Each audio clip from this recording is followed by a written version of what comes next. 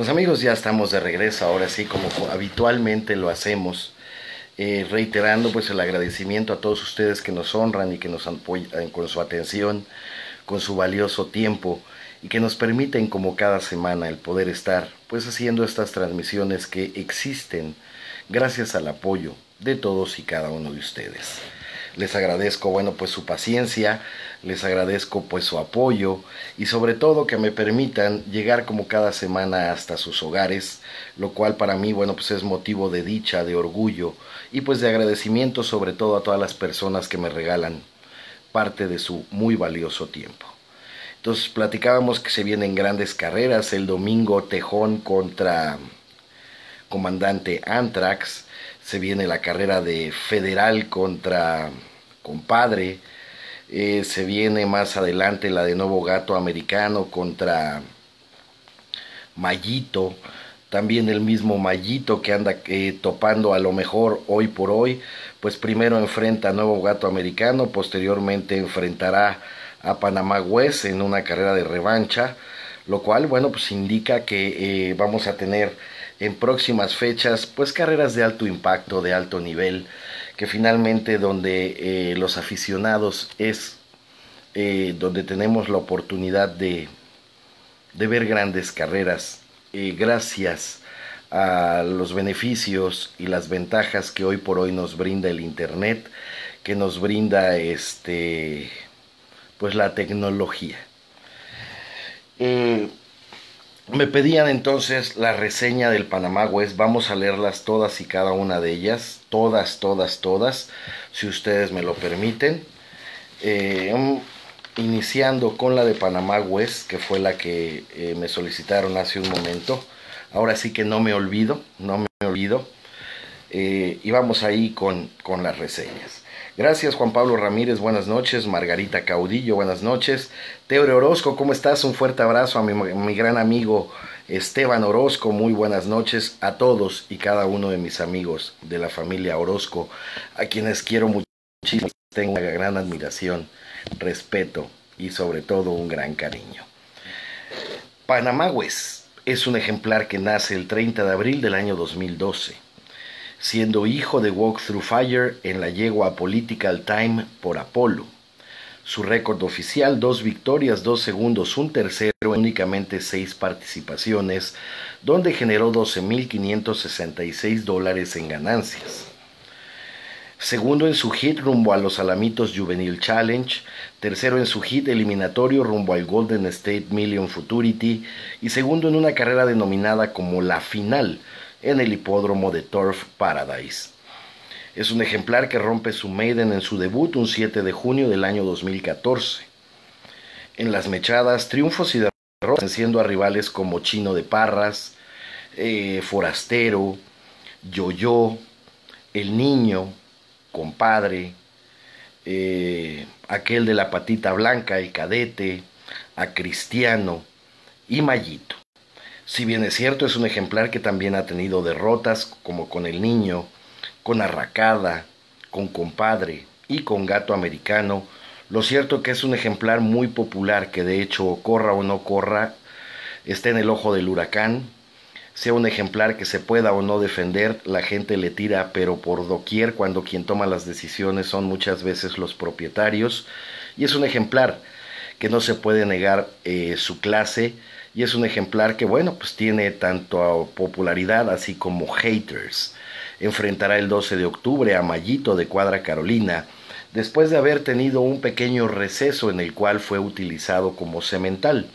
De hecho, este año ya empezaron incluso a nacer crías de Panamagües. Eh, vamos a ver. Saludos desde Villa Omada para Adrián Cano. Mi amigo Jimmy, saludos Oscar, compadre contra Federal, quien gana, está muy buena y muy pareja. ¿Qué les parece si vamos y mencionamos la reseña tanto de compadre como de Federal? La de Panamá West la leí por petición de eh, un seguidor eh, que nos las pidió en el primer bloque que hicimos donde anunciamos y presentamos a todos ustedes a nuestro nuevo patrocinador. Ese color te queda muy bien, mi Oscar. Saludos. ¿Qué tal mi queridísimo Luis? Hasta Phoenix, Arizona. Seguimos viendo lo de Belmont. No lo descartes. Arnold Maya, muy buenas noches. Aunque dicen por ahí, mi queridísimo Ramsés, que ese de rojo lo vestimos de verde. Eh, Ramiro Ahumada, saludos desde Culiacán, te mando un gran abrazo. Seguimos suspirando por lo vivido y lo extraordinario que fue haber presenciado grandes carreras en Fresno Hipódromo, donde se vive la emoción. Em, seguimos. Juan M. Ramírez, saludos desde Chiautla, nos vemos en Tetelilla, primera Dios el domingo, gran evento en la Catedral de los Eventos, saludos desde Hidalgo para mi amigo Arnold Maya, y sí, vamos a ver si tenemos la oportunidad. También la China del pariente Eleazar de Cuadra Mochomo también le ganó. Lo apuntamos y lo mencionamos para que no quede como algo descartado. La China de Cuadra Mochomo de mi queridísimo amigo Eleazar, a quien le mando un gran abrazo. Por cierto, otro compromiso para el Gran Tejón el domingo contra el comandante Antrax. Como me gusta ese condenado Tejón. De hecho, el lunes en Ecuestres Radio ya sonó el corrido del Gran Tejón. Vamos entonces con la reseña tanto de Federal como de Compadre. Estas, insisto, ya están grabadas en audio. Espero mañana tener la oportunidad de producir el video y poderlas compartir con todos ustedes. Quiero utilizar en este momento, y lo voy a hacer de manera respetuosa y con admiración de mi parte, incluso yo no me sé su nombre y me da mucha pena quien narra las carreras en Carreras del Valle, valga la redundancia, allá en San José de Leno, California. Pero como dice, carrera de punta a punta, de rabo, de cabo a rabo, 275 eh, yardas de pura adrenalina se van a vivir el día 19 de mayo, donde se van a enfrentar ejemplares como el Federal, quien lleva por nombre de registro Making Moments de Cuadra Pacífico. Hijo del ejemplar Favorite Cartel en la yegua Enjoy the Moment por Chicks Beduino. Su récord oficial, dos victorias, un segundo, cuatro terceros en 16 participaciones, en donde generó 29.938 dólares en ganancias. En las eh, participante, perdón, de carreras como el Governor's Cup Derby de grado 3, Cupress Handicap, además de California Breeders Sprint Stakes. En las parejeras, el federal ha derrotado ejemplares como Viento Negro, Inocente, Chema, Tecolotito, Pinocho, Rojo, Lucero Negro, Forastero, y en su última salida a pista en el mes de abril derrotó nada más ni nada menos que a El Socio. Un ejemplar que viene en su punto, es un ejemplar que la cuadra Pacífico ha sabido llevar, que ha sabido sostener y es un ejemplar con mucho temple y con mucho corazón, que le pelea a cualquiera que le pongan. Por otro lado, va a enfrentar a un ejemplar no menos fino, de mucha clase como lo es el compadre, quien lleva por nombre de registro Hot to Go, propiedad de Parras Racing Stables. Un ejemplar que es hijo de Walk Through Fire en la yegua Secret Gore por el cemental Racia Secret. Su récord oficial del compadre es de 4 victorias, 3 segundos y un tercero en 17 participaciones, en donde generó 33.215 dólares en ganancias. Fue participante del California Breeders Freshman Stakes y de las eliminatorias de carreras como el Golden State Million Futurity, los Alamitos 2 Million y Governor's Cup Futurity. Afuera de los circuitos o afuera de los hipódromos es un ejemplar que se ha ganado el respeto venciendo a la famosa Flecha, la reina de las 350 yardas, al Gran Cali de la cuadra MG, a Pavo, a Chanata y en la primera de dos enfrentamientos que se han dado, derrotó a Panamá West, el rey de Arizona, con quien va uno a uno y no se puede descartar más adelante que entre ellos se pueda dar una tercera carrera. ¿Quién para ustedes ganará? Federal de Cuadra Pacífico o compadre, propiedad de Parras Racing Stables. Para el día de mañana les comento, las reseñas van a estar listas dentro de lo que es la página para que ustedes las puedan ver acompañadas del video que como siempre pretendemos tener listo para todos ustedes. Eh, Rafa saludos de Austin, Texas. Juan Carlos Vargas, saludos desde Oxnard, California, Cuadra el Pacífico, puro federal. Hugo Espinosa, saludos don Oscar desde Carolina del Sur hasta Chiapas, México. Arriba los Deca, puro criado en el criadero La Presita, fábrica de campeones. Ulises Robles se acaba de conectar, reitero lo comentado en el primer bloque porque este ya es un segundo bloque. Ulises, muchas felicidades. Dios te conceda mucha salud y nos permita seguirte teniendo porque eres un extraordinario amigo. Dios te bendiga, muchas bendiciones y desde Atlatlaucan, Morelos, México, que sigas pasando lo que queda de cumpleaños, pero muy feliz. ¿Cómo ves a los piedreros que retaron a otra cuadra de Chicago? Es lo que acabo de leer. Quieren un 4 para 4, donde incluso la gente ya comenta que va a quedar piedreros 4 a 0 no sabemos si esto ya sea oficial, pero lo cierto es que tampoco puedes asegurar un 4 a 0. A lo mejor va a correr Martillo y tiene la oportunidad de enfrentar otro ejemplar, no digamos cualquier nombre, y que desafortunadamente ocurre un problema en puertas y pierde Martillo.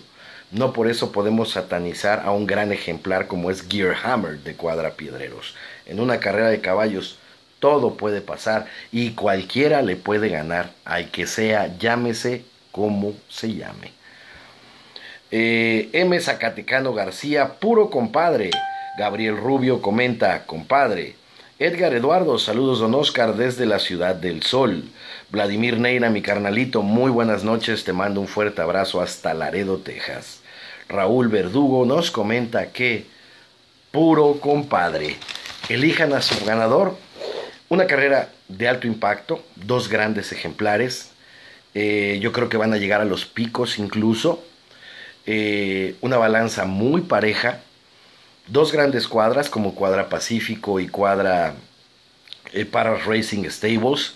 Y dos muy buenos ejemplares de allá de California. San José de Leno va a ser testigo de una gran carrera el próximo domingo entre Compadre y Federal. Pero también por otro lado se van a enfrentar con todo el tejón que le otorga a Blanco al comandante Antrax. Eric Cruz, saludos, muy buenas noches. Eric, te mando un gran abrazo. Nada que agradecer, Ulises. Un honor realmente conocerte y felicitarte el día de hoy por tu cumpleaños. Pues es un motivo de orgullo para mí, tu servidor. Eh, por otro lado, insisto, Tejón otorga blanco. En carreras de caballos, lo vuelvo a repetir, cualquier hilo, cualquier cincho se puede reventar no hay como jugar a los picos. Qué valiente, el Tejón tiene toda la clase, toda la categoría, pero el comandante Antrax no es cualquier ejemplar. Pero vamos a compartir la reseña de ambos ejemplares. Por un lado, viene Tejón, que por nombre de registro Wild Wonder, de Cuadra Mochomos. Hijo de Estel Corona en la yegua California Wildfire por Walk Through Fire su récord oficial, tres victorias y cuatro terceros con ganancias por 40.825 dólares. Participante en carreras como el California Breeders Freshman Stakes, además de haber sido finalista del PCQHRA Breeders Futurity. Por fuera ha derrotado a ejemplares como la Chica Fresa, la Lechuza, al Cara de Leche, a Uriel, a Jardinero, y en su última carrera derrotó nada más ni nada menos que al general Perry, también propiedad de Cuadra AA, a quien enfrentará en esta ocasión, pero con el comandante Antrax, que a su vez tiene nombre de registro Águila Alta. Hijo de One Sweet Yes en la yegua Corona Sweet por Corona Cartel.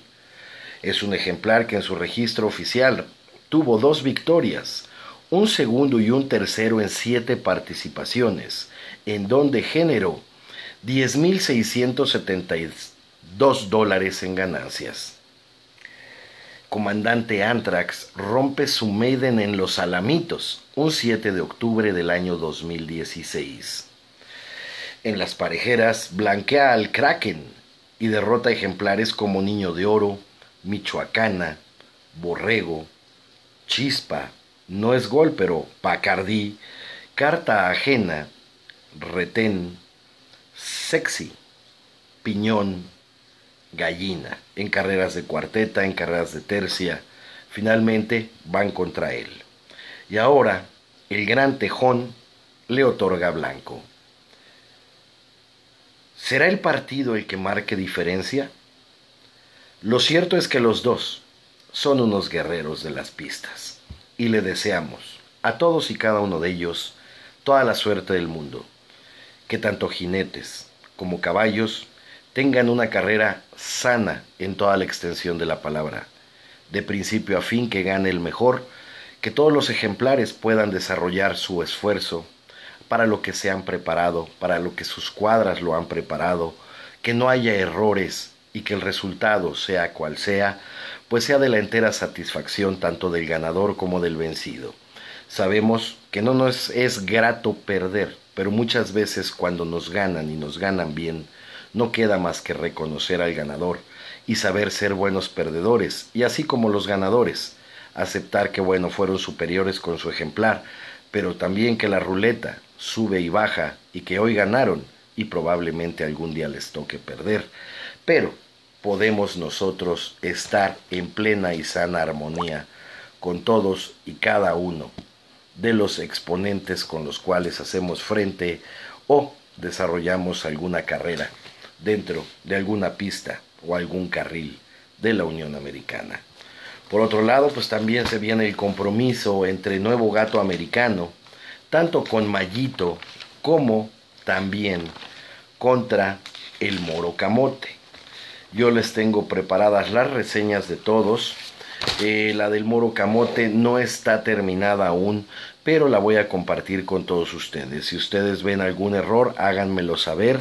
Reitero, estoy expuesto a eso, no soy una persona perfecta y sobre todo aquí en su casa ecuestres ustedes saben que tienen un lugar para poder eh, compartir incluso información que nosotros muchas veces no tengamos. Aquí, esta es su casa y podemos compartirla con todos y cada uno de ustedes. Hablar del moro camote es hablar de un ejemplar que lleva por nombre de registro Papasquis, un ejemplar nacido un 4 de marzo del año 2012, siendo hijo de Papacito en la yegua Easy Sailing Kiss por Dashing is Easy. Su récord oficial, tres victorias, un segundo y un tercero en ocho participaciones, con ganancias por 40.607 dólares. Ejemplar que rompe su maiden en su debut un 17 de agosto del año 2014. Participante del Polk County Derby y en las parejeras ha derrotado ejemplares como Cardenal de cuadra Danny Boy, a Mr. Destiny, a El Chapo, a Puma y ejemplares de cuadra Carpintero, de cuadra Mecánicos, cuadra Royal Plebes además de haber sido ganador o tener ya en su historial el haber ganado un abierto. Enfrenta nada más ni nada menos que a este gran ejemplar de la cuadra Tres Amigos, como lo es el nuevo gato americano, que su nombre de registro es Rattle and Battle, un ejemplar nacido un 28 de febrero del año 2012, siendo un hijo de Apolitical Yes en la yegua Tiny's Corona Queen por Corona Cartel. Su récord oficial es de 4 victorias, 6 segundos y 4 terceros en 29 participaciones, en donde generó 129.037 dólares en ganancias. Cuarto lugar en carreras como el West Texas Maturity de grado 2, Miami Dade County Stakes, Hialeah Maturity, tercer lugar en el KOFX Radio Handicap de grado 2 y segundo lugar en el James Isaac Hobbs Stakes de grado 2. En las parejeras ha derrotado ejemplares como el Roberts de cuadra La Palma, a la China de cuadra Sierra Brava, ha derrotado también al King Max, a Misterio, a Tarahumara de cuadra 915, de hecho, tiene una abierta en 300 frente a ejemplares como, eh, de cuadras como Cuadra Méndez, Cuadra Trinidad y Cuadra Carolina. Y en su último compromiso, hizo valer su condición de favorito ganándole nada más ni nada menos que a la Negra Noche de Cuadraquino. Una carrera que generó muchísima expectación. Eh, queríamos ver la reaparición de la Negra Noche, su primera prueba en la Unión Americana, donde fue superada ampliamente por un gran ejemplar como lo es el nuevo gato americano. Ellos, estas son las reseñas tanto de Moro Camote como de Nuevo Gato Americano. Eh, saludos a Antonio Lerma, muy buenas noches, saludos, ¿cómo estás? Juan Pablo Ramírez, muy buenas noches, vamos con los saludos. Margarita Caudillo, muy buenas noches, gusto en saludarte. Eh, Teresa Orozco, nuevamente con afecto. Un gran saludo, señor Oscar. Esperamos algún día tenerlo en Chicago. Gracias, Erika. A Joel Hernández. Eh, muy buenas noches. Saludos desde Houston, Texas. Puede ser un comentario sobre el programa de Lagos de Moreno, Jalisco, donde juega el 30-30 contra el Ferrari. Muy buenas carreras para ese día. Te prometo que te lo comento para la próxima semana. No tengo a la mano lo cierto es que Ferrari viene de derrotar a un emblema que estaba abierto a la nación allá en Jalisco como es el camello y ahora va a enfrentar a otro grande ejemplar de la cuadra Supercuaco como lo es el 30-30. Reaparece nuevamente Piwi y grandes ejemplares. Vamos a ver cómo se dan estas carreras y vamos a darle su tiempo y su seguimiento a ellas. Te lo prometo de todo corazón, Joel Hernández. Francis Gallegos, don Oscar, he escuchado a Guadalupe Cabrera alias Tío Lupe. Es un viejo lobo de mar como lo es don Bertín Córdoba, incluso son amigos, para ver si puede hacerle reconocer su trayectoria. Muchas veces Francis no depende tanto de mí, sino de las mismas celebridades, que tengamos la oportunidad de acercarnos a ellos y ya saben que yo encantado de la vida. Les hacemos su reconocimiento que de verdad tiene muy bien ganado. Saludos desde Austin para Alejandro Pérez. Gabriel Rubio, saludos don Oscar desde Las Vegas, Nevada. Rafael Morales, saludos. Saludos desde Fort Worth, mi queridísimo Rafael. Pérez Compita, saludos desde North Carolina. Muchísimas gracias por acompañarnos. Y también, pues no podemos dejar de lado la reseña de este ejemplar, que bueno, primero va a ser frente al nuevo gato americano y posteriormente va a ser frente a Panamá West. Eh, saludos desde Dallas para Río Verde, San Luis Potosí, de parte de Fausto Parón. Muy buenas carreras se vieron en Sonora este 12 de mayo, donde por cierto la gente de Baja California pues se presentó y me parece que de las 5, las 5 las ganó. Pero finalmente en las carreras de caballos esto puede ocurrir, incluso si devuelven la visita se pudiera empatar el marcador. Pero qué bueno que nos estamos atreviendo a guerras de estados, guerras deportivas. Por ejemplo, el día 25 que se inaugura el carril San José Park allá en Oaxaca, pues va a haber enfrentamientos entre Querétaro y Oaxaca. Y bueno, pues este crecimiento es el que nos da la pauta para seguir creyendo que también en México se echa la carne al asador. Eh, Mayito, insisto, eh, saludos desde Ciudad Juárez a la cuadra Tres Marías, por supuesto Jesús. Eh, ahí a todo el equipo, que por cierto, Cuadra Marías, les enviamos eh, Rancho Los Pinos, el Panamá Guas gana. Va a ser un difícil compromiso. Mayito anda con todo. Viene de dos victorias de manera consecutiva ante dos grandes rivales, como lo fue Cobrita de, de Cuadra Cobra, Copi de Cuadra el Ayudante, que aunque en términos de carrera le ganó por mucho, Copy es un gran caballo, créanmelo. Eh, saludos desde Richmond, Virginia, para Rancho Los Pinos. Muchísimas gracias por acompañarnos. Eh, pero bueno, vamos a dar paso también a la reseña de Mayito. Muchas veces se ya se están tornando repetitivas. ¿Por qué? Porque finalmente están teniendo compromisos. Pero se van modificando en base a los compromisos que ellos han tenido y los resultados que se han dado. ¿Qué opina este carrerón este domingo, el famoso federal contra el señor compadre en Deleno, Juan Ramos? Pues mira, el federal viene de ganar su último compromiso contra el socio y la verdad es que lució muy bien. Es un ejemplar perfectamente preparado por la cuadra Pacífico y compadre no ha regresado a pistas desde aquella derrota contra Panamá West. Pero sabemos que es un ejemplar que, bueno, ha derrotado a grandes como La Flecha, ha derrotado a grandes como el mismo Panamá West, con quien va uno a uno en el marcador. Y pues la verdad es que es una carrera que va a ser muy pareja. Yo siento que van a llegar incluso a los picos. Es muy bueno el federal y es muy bueno el compadre. Saludos al Diablo, el pirata de Phoenix, Arizona, de parte de Rodolfo Mejía. Saludos desde Utah. Muchísimas gracias Juan Meraz. Te agradezco los saludos y te los devuelvo desde el estado de Morelos, acá en México, con muchísimo cariño para todos ustedes.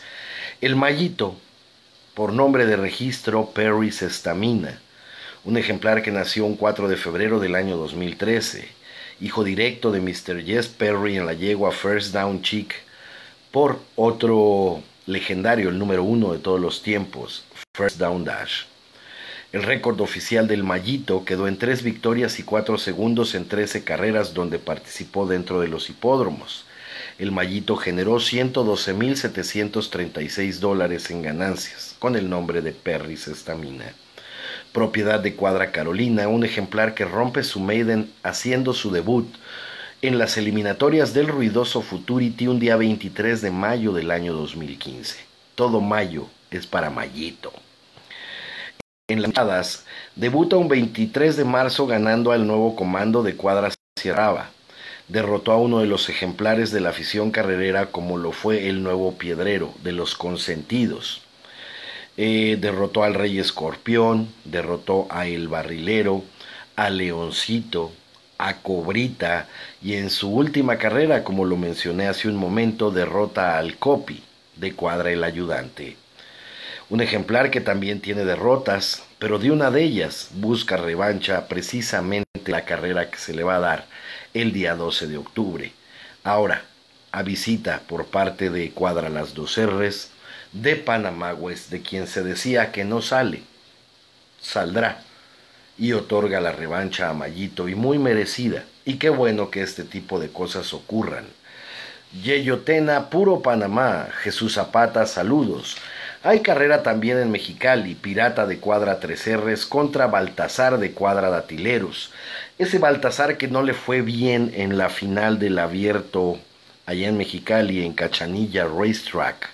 Y es muy difícil, siempre lo he dicho Rossi, que en este tipo de nivel de competencia, difícilmente este tipo de ejemplares te pierde dos carreras de manera consecutiva.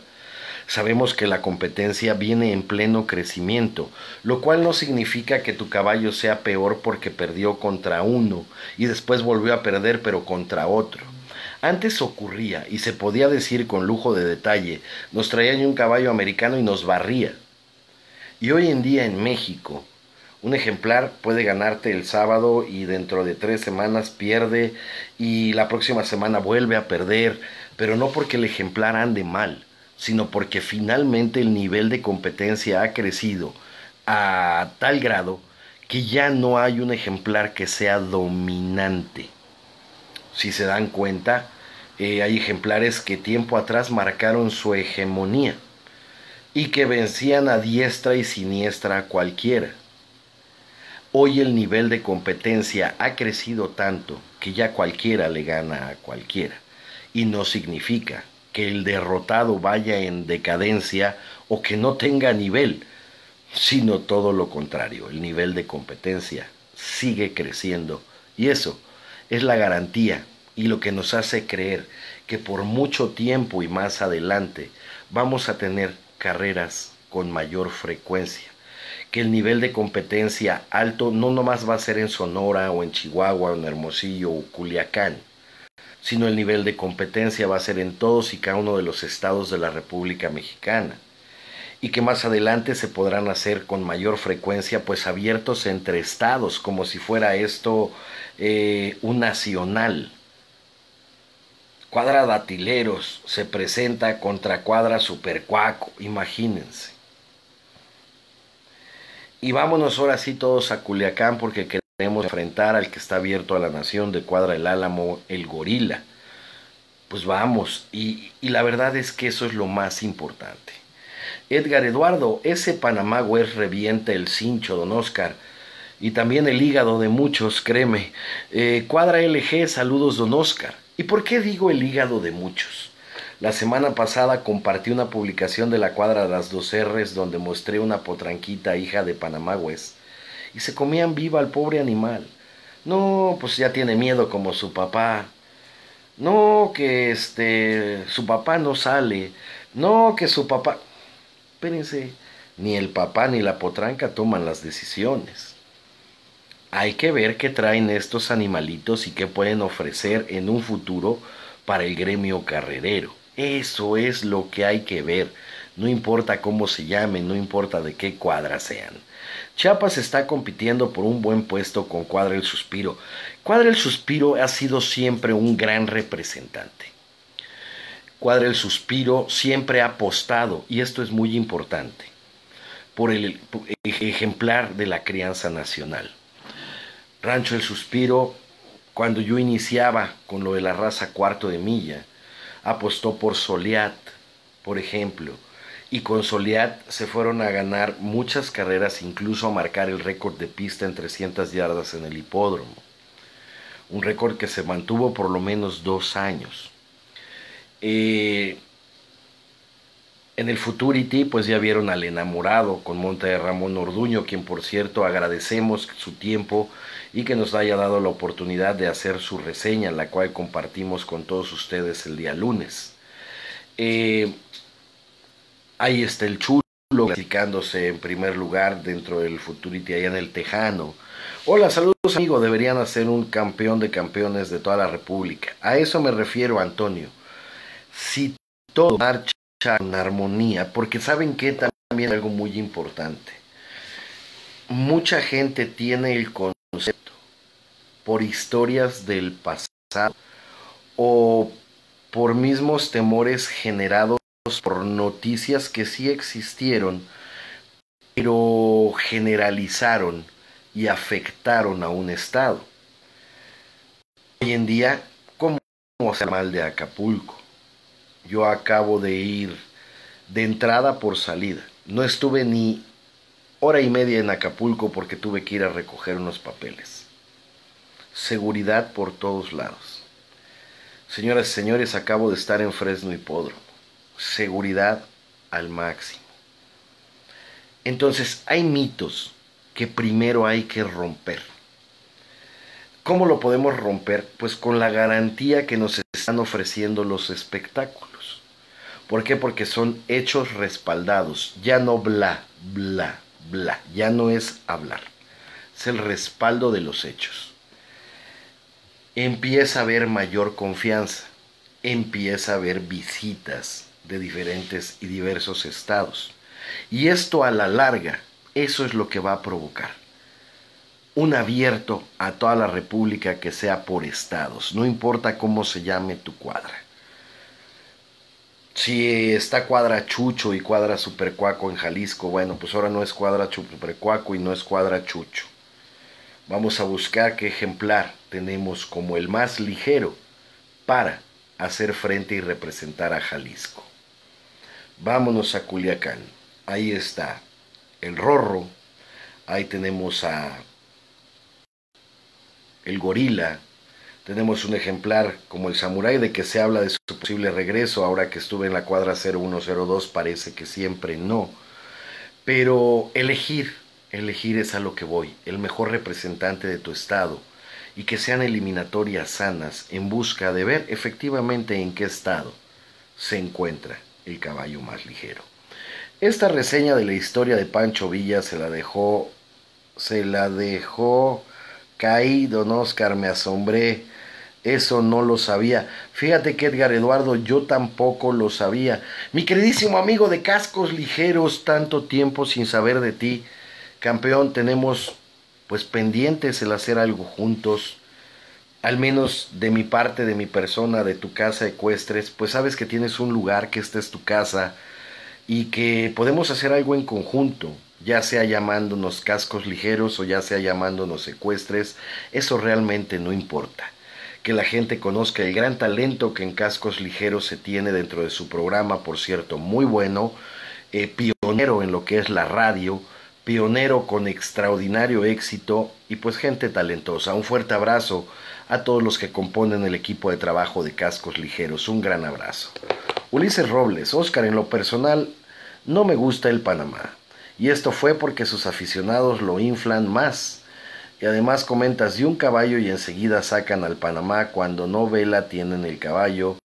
Eh, tienes razón, Ulises, fíjate que tienes razón. Pero esto es tanto a favor como en contra, ¿eh? Porque, por, por ejemplo, en alguna ocasión una persona que sabe mucho de caballos, muchísimo, muchísimo, ¿Cómo es posible que cuando hablen del cemental Walk Through Fire, quién es el primero que piensas? Así pasa, tanto de manera favorable como de manera perjudicial. Pero tienes razón. Además, cada aficionado tiene su favorito, lo que sí no se debe perder y se ha perdido mucho es el respeto, Ulises, pero tienes toda la razón con lo que dices. Eh, Damián Axel Enríquez, buenas noches, un saludo para Palm Spring, California, y a toda la gente de a caballo y también a carrileros. Eh, Hugo Espinosa, arriba el Panamagües.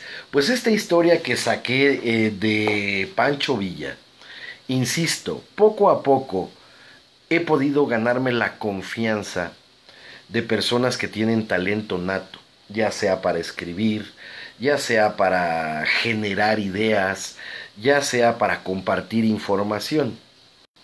Yo siempre lo he dicho, yo no soy el creador de las reseñas. Yo creo reseñas. Eso sí lo hago. Sí las creo porque ahí están a la vista de todos ustedes. Armando me compartió una historia respaldada de una revista con la información de Pancho Villa y la verdad es que se me hizo muy interesante el poderla compartir con ustedes. Ahí está, está en la página, está en el canal de YouTube Osalurín Ecuestres TV. Suscríbanse, apóyennos.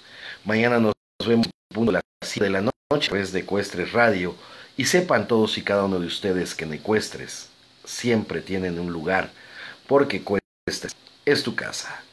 Repita la historia, no la escuché.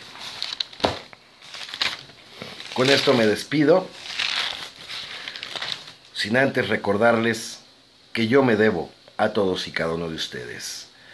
El coronel Matt Wynne conoció mucha gente famosa en su tiempo, incluyendo al general Pancho Villa, a quien también le gustaban las carreras de caballos, y que apareció con toda su infantería en el Derby de Kentucky de 1917. El problema estaba en que Pancho Villa no creía en pagar caballos. Robarlos para él resultaría más barato.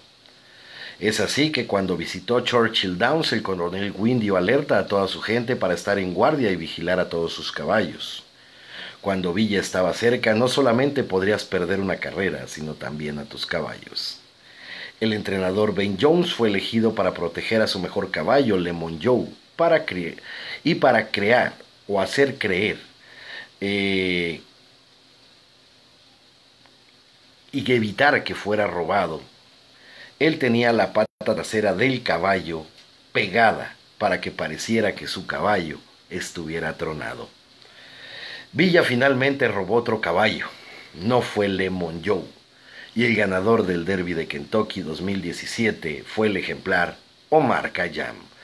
Que tengan buenas noches, está bueno su programa, gracias Daniel, Jaime Lerma, Saludos, don Oscar, de parte de la página Carreras de Sonora. Jaime, un gran abrazo y un gran saludo a todos y cada uno de ustedes, de parte de su amigo Oscar Alberto Urquijo. Muchas gracias y muy buenas noches.